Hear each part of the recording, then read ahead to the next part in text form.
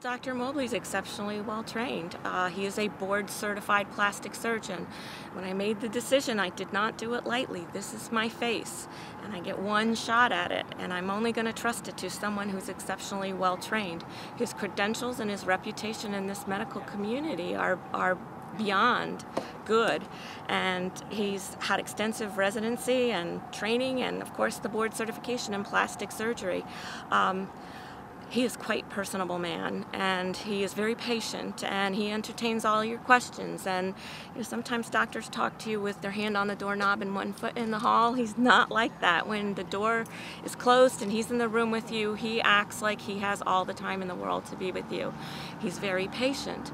He um, has a sense of humor and um, he is a perfectionist. Uh, I, I, definitely know that now, having had surgery with him and the way he looks at his work and what he can do, and uh, and the way the nurses speak of him upstairs in the OR, that he's a perfectionist, and it just solidifies my decision that I made uh, the right choice. Okay, final thoughts about the whole experience. It was great. I, again, was amazed at how fast I recovered.